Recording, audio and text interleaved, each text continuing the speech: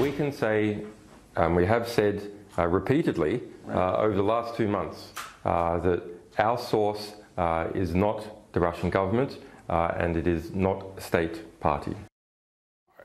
That's Julian Assange, WikiLeaks founder, denying again that he received leaked DNC emails from the Russian government. This morning, President elect Trump is tweeting about it, saying, Julian Assange said a 14 year old could have hacked Podesta. Why was DNC so careless? He also said, the Russian government is dismissing any involvement in the election hacks. I can tell by your face you don't like hearing what's coming out of Julian Assange's face. Why? Well, look, the, the question we face here wasn't asked last night, and I can't figure out why it wasn't. The question is pretty straightforward. It's not who gave you the information.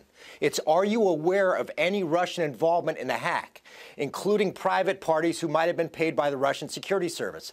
I thought the interview was ridiculous because they skirted the bottom line. Do you know if the Russians were involved? Again, not where did you get the information? Ridiculous interview.